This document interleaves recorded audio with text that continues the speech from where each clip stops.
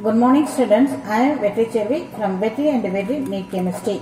Today I am going to give the topic is atomic structure topic belonging to from Abhyas 6 and 9. Okay.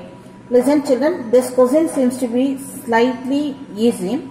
Even though it is easy, it is given in the NTA. So you should know what level of the question. It may be a tough for the some students also. So just you should know aware of the cosine level.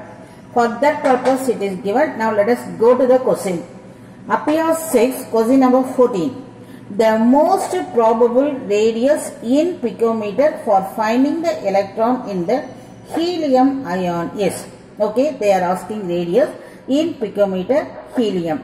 So now let us go to the thing. What is the formula for radius is this is the formula. Radius of where any ion is equal to any one in the nth orbit. This is the nth orbit is equal to 0.529 n square divided by z Angstrom unit. What is n is the orbit, z is the atomic number. Here it is helium plus. So n is equal to consider as a this n is equal to here n is equal to 1 because the this is having the electron which is uh, only one electron it is available the first shell. So n is equal to 1 and the in the helium the atomic number is 2 so z is equal to 2 now let us substitute. So n squared 1 square and the 2 is written. What is angstrom unit? Is 10 power minus 10 meter what they are asking is the unit in the picometer they are asking so to convert the meter into picometer what is picometer is 10 power minus 12 meter is equal to 1 picometer.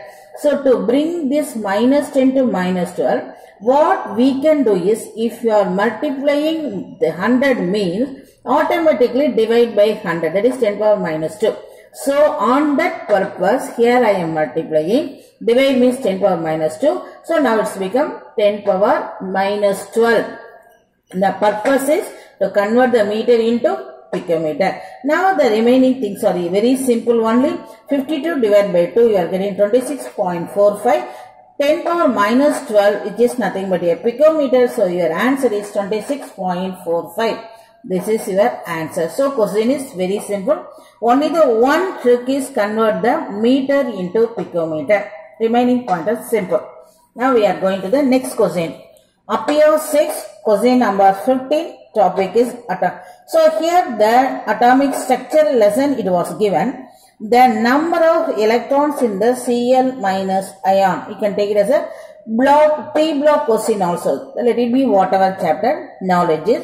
Very very simple. Number of electron in Cl minus. Okay, very simple. Atomic number of chlorine is 17. 17 plus 1 electron 18. Okay, just a fraction of second you can answer it. Next we are coming to the, since it is chlorine we are answering, uh, anything else given me, the trick to find out the atomic number should be known. That is the knowledge you should know. Okay, now coming to the here. Abhyas 6, question number 27. The number of the nodal plane in a px orbital is, here the formula is, number of nodal plane is equal to simply the is equal to L. L means azimuthal quantum number. This is the formula for the nodal plane. Okay, now what is the azimuthal quantum number is given here is px. The orbital is labeled as a p. Okay, now the values of azimuthal quantum number, all the orbitals are given. S, P, D, F, 0, 1, 2, 3. Our question is P. So, its azimuthal value is 1. So, your answer is 1. So here trick is number of nodal plane is equal to azimuthal quantum number. That trick itself enough. We are coming to the next question. An electron, this is Abhyas 9, question number 21. An electron moving with the velocity of v is found to have a certain value of de Broglie wavelength. The velocity to be possessed by the neutron to have the same de Broglie wavelength. Now we are having two particles. Here it is written.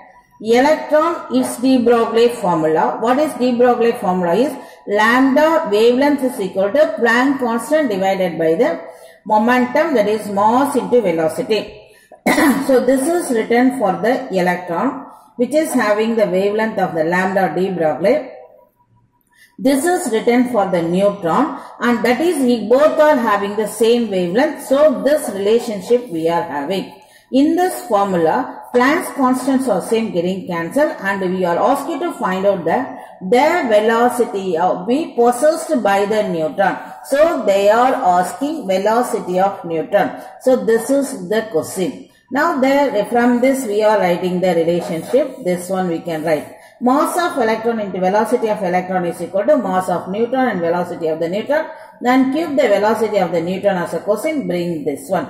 Okay, now what is a mass of electron into velocity of electron divided by mass of your neutron. This is the way you can find out. Next, in the sum, there is no velocity given regarding the electron. So, I am keeping as it is there. That is velocity of neutron by velocity of electron is equal to mass of electron by mass of neutron. Now, substitute the value of Children, you should know the data of mass of electron, neutron in your fingertip because in the sum NTA the data is not available. So from your mind you have to write so you should know.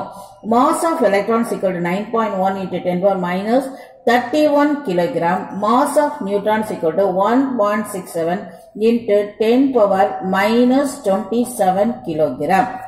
Okay, now this is on simplification. That is 10 power. This one on cancel, uh, simplifying 10 power minus 4.